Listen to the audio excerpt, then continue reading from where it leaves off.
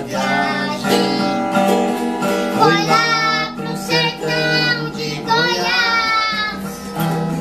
Foi eu e os cinco mineiros. Também foi um capataz.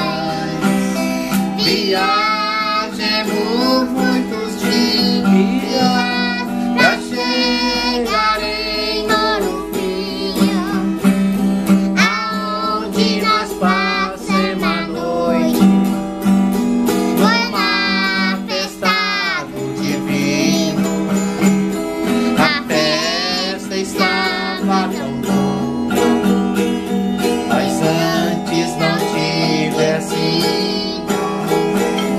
O Chico foi baleado por um homem desconhecido.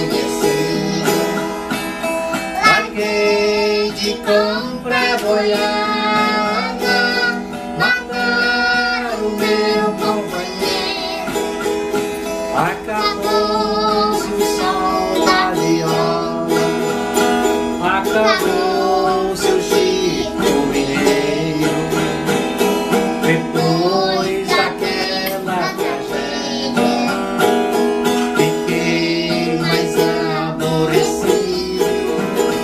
Não sabia da nossa amizade, porque nós dois eram unidos.